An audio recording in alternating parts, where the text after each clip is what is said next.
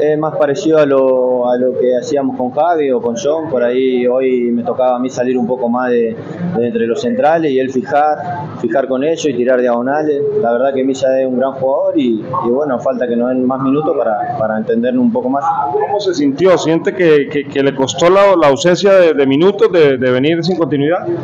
Sí, sí, por ahí no, yo creo que fue un partido más que nada inteligente de Alianza, donde juntó las dos líneas entre volante y defensores. Eso hizo que no, que no tengamos espacio a la hora de atacar, nosotros nos tuvimos claro con la pelota.